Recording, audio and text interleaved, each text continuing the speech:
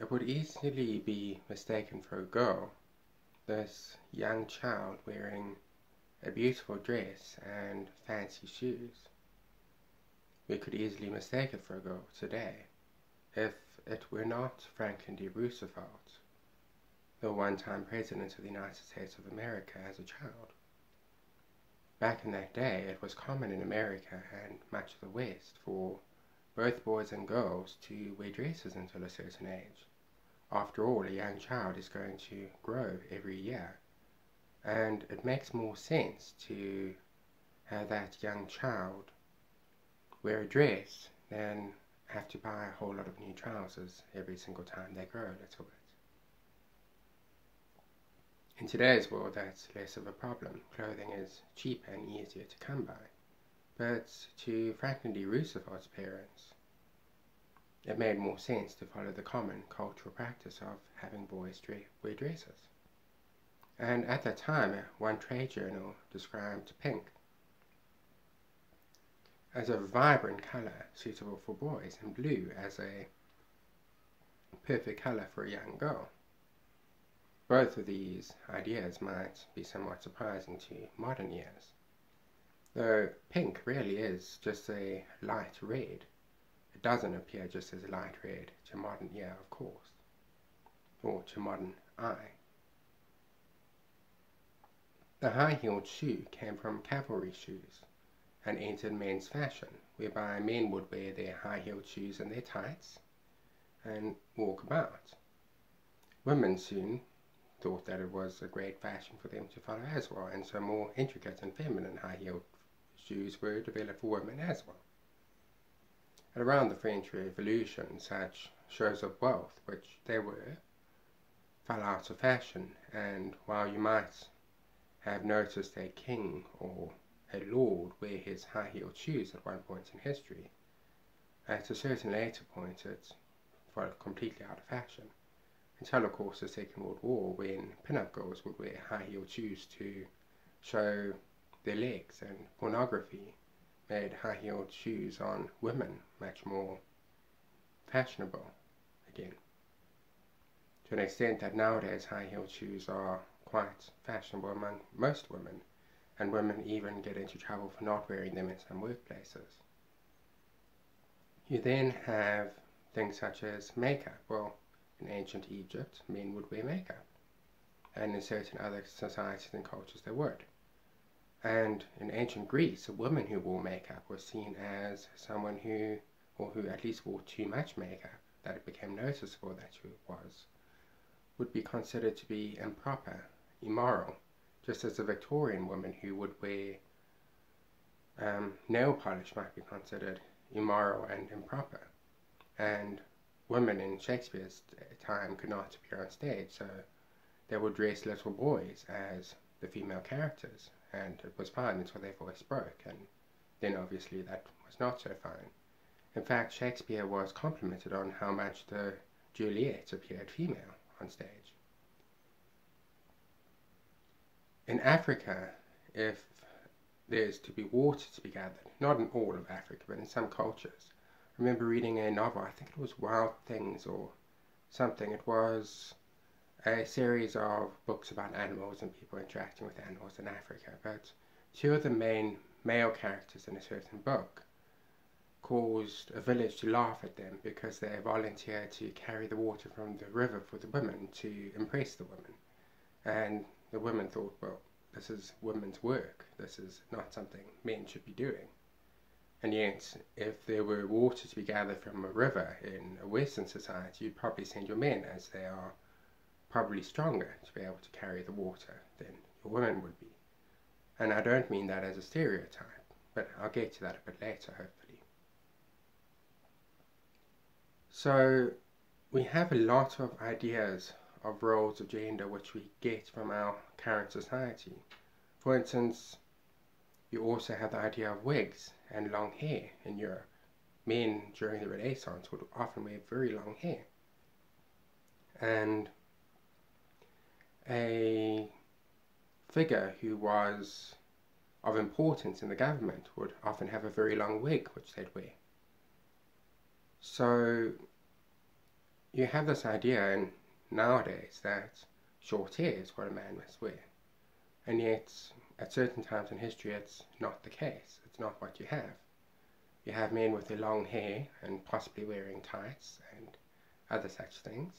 And it might seem very humorous to a modern perspective to see these tough ancient men dressed in a manner which isn't so tough by modern standards. You might see an ancient Roman soldier wearing his leather dress, his leather skirt, sorry. Or you might see many other figures doing things which to a modern eye are not so compliant with our gender roles. And there's a problem with our modern gender roles, and it's that we've created such strict gender roles that if a boy were to like pink dresses a century or so ago, it would just be, okay, well, he's liking what any of the other boys are wearing and what he's wearing too. But if a boy nowadays does, we're told, oh, that means that he's a girl. That's a very, very strict and almost tyrannical gender norm that you're creating. It's this idea that any non-compliance with a gender role means that that person is not part of the biological sex which they might belong to. And with children, this is dangerous because the human brain only develops fully at age 26, and there are certain consequences of that. For instance, with homosexual individuals, when they reach 26, by the time they've reached 26, most have ceased to be homosexual. They sort of become heterosexual for some reason. So the brain at a certain stage has one way of looking at things, but when it's finished the work of evolution, it looks at it a different way at that age. And when it comes to a lot of different things, such as what a boy likes until the age of puberty, well, puberty hasn't acted on him yet, has it? Now, in Las Salinas in the Dominican Republic, one in every 90 boys is born as a girl and only becomes a boy at age 12 when puberty hits. Now, this may seem spectacular to Western eyes until you realize that in the womb, we all are conceived and have the appearance of girls. And we gradually, the boys will develop their organs in the womb, and so we can identify it as a boy at a certain stage of a pregnancy. Before that, a boy and a girl would look much the same. Now these boys develop it at about 12 and there's often a wise name change which occurs and it's then a boy. But it's a boy at the stage when it needs to be a boy to genetically succeed. It's a boy at the stage when puberty starts beginning. Now, let's imagine for a moment that the boys who like dresses are like girls who played as tomboys until they reach puberty.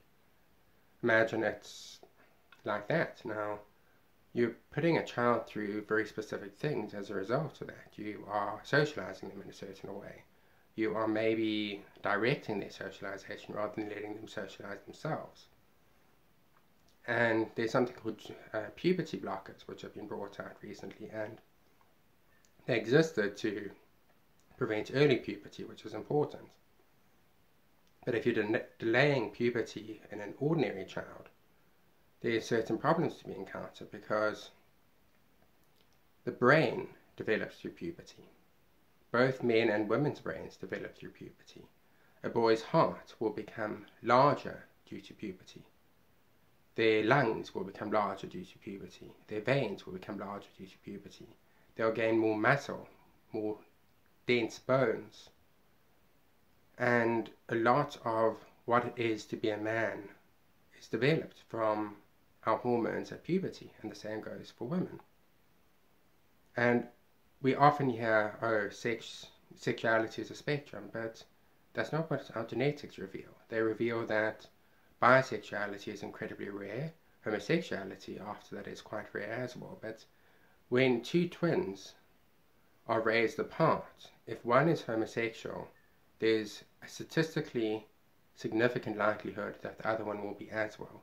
And it's not greater or less than that likelihood, it falls at that likelihood, which suggests that there's a gene combination which when it expresses itself in a certain way when the genes are forming the neural pathways in the womb, results in homosexuality, or at least temporary homosexuality in some cases, and permanent in others. So that someone who is straight, like me, and doesn't really have any homosexual relatives in their gene line that they know of of their relatives, is not someone who is likely to um, have that attraction, while someone who comes from a certain gene line is much more likely statistically to have that attraction.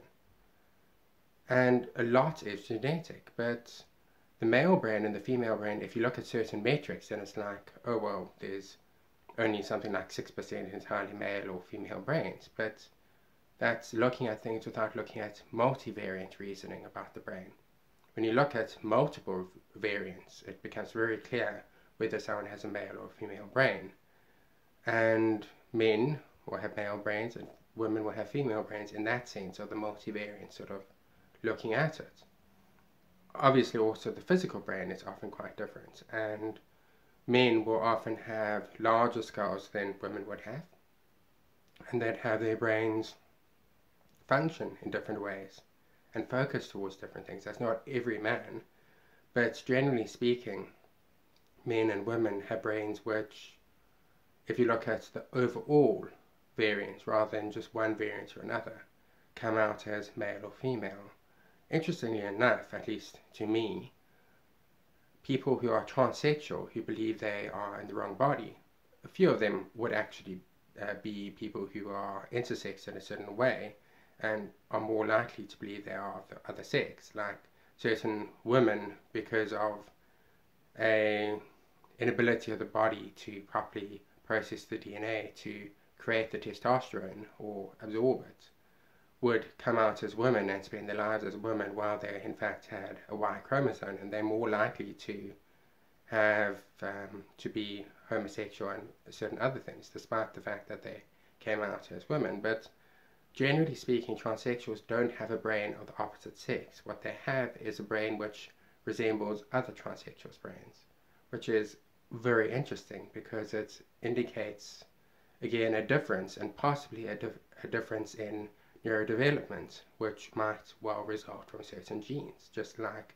homosexuality is thought to result from neurodevelopment combined with certain genes. At least when it's a permanent thing. Often it's something which is temporary and is not a permanent thing.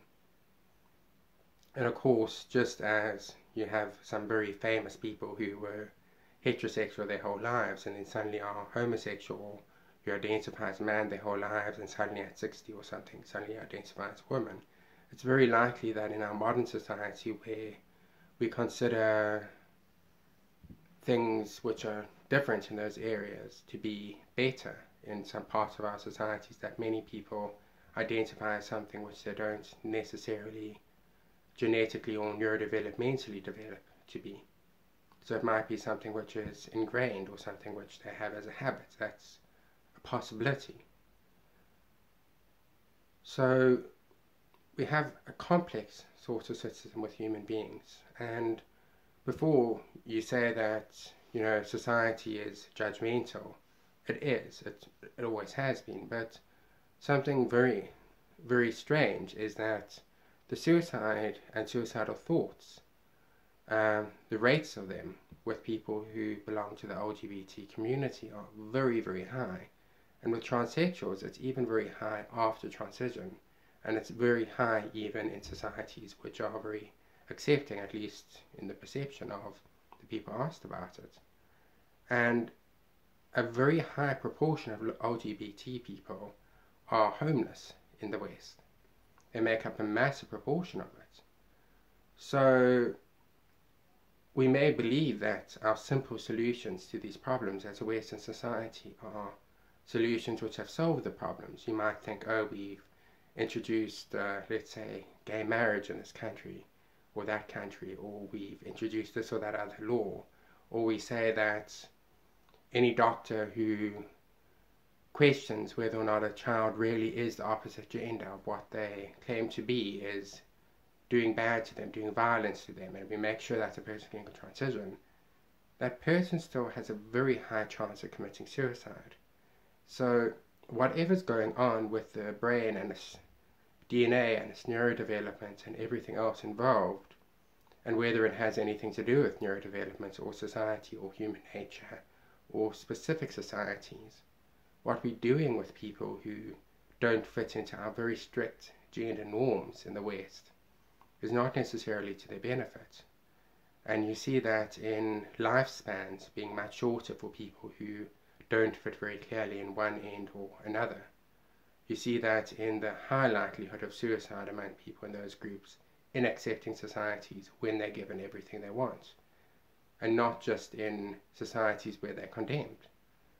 You see something unusual happening now, getting on to intersex people, people who are not one sex or the other, we'd say, but generally speaking, it results from specific genetic mutations, and so we do know which sex those people are more than the other. We do know the results of it because it specifically comes out in certain ways. You know whether or not someone's likely to have an internal womb or not, and that's generally something which is very, very much um, something which will affect which gender you'd class someone to be as, as a young child if they had that. And intersex people are very likely to be infertile, to not be able to pass on their specific genes when they otherwise would have if they were not intersex. And so it's specific genetic results which you're talking about, but an intersex person will almost always or always seem to be more male or female biologically, however they identify in the brain or otherwise. So, what's the solution? Well, I think that it's very important that we distinguish between what's biological, what's sex, and what we consider to be gender or gender norms. Just because a boy likes dresses doesn't mean that he's a girl. Just because a girl likes playing in the mud, playing with cars, or a boy likes playing with Barbies or action figures, which is the male version of a Barbie, doesn't mean that they're the opposite gender. I think it's very important that we respect people's development of their brains as they develop until age 26 when the brain is fully developed. I think we need to be very careful of placing permanent solutions on people when we might in fact be creating a situation with that person which is not what they themselves would want if they were of an age to decide for themselves.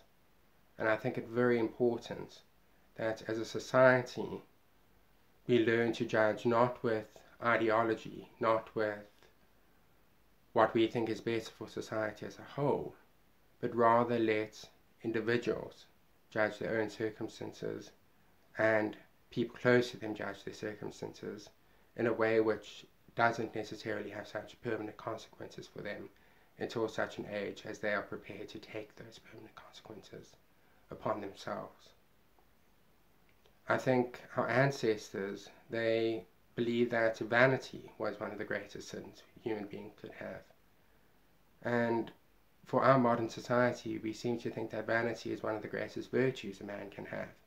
We periodically reached for the sky like the ancients did in building the Tower of Babel. We periodically believe, well, we have technology, we can change things. A woman who doesn't like her looks can get plastic surgery, and then she's a new woman.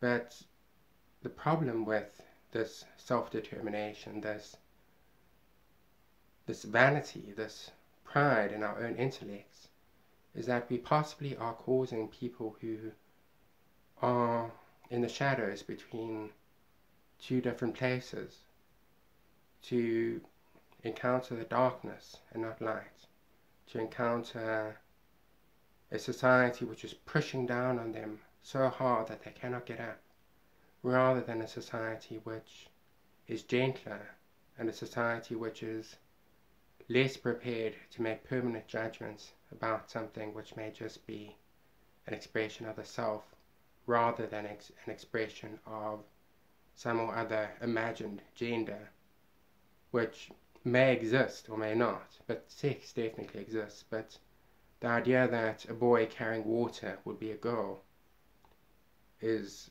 one which needs to be looked out for and which we need to be careful of.